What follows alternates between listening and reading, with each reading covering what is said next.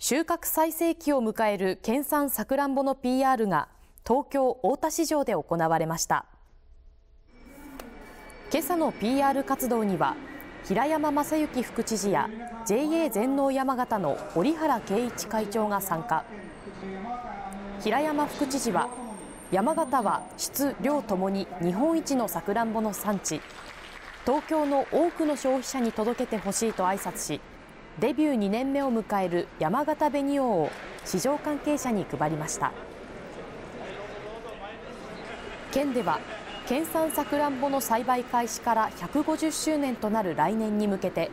首都圏の大型ビジョンや SNS などによる PR を強化するということです。佐藤錦山形紅王は今月今月中旬に収穫のピークを迎えます。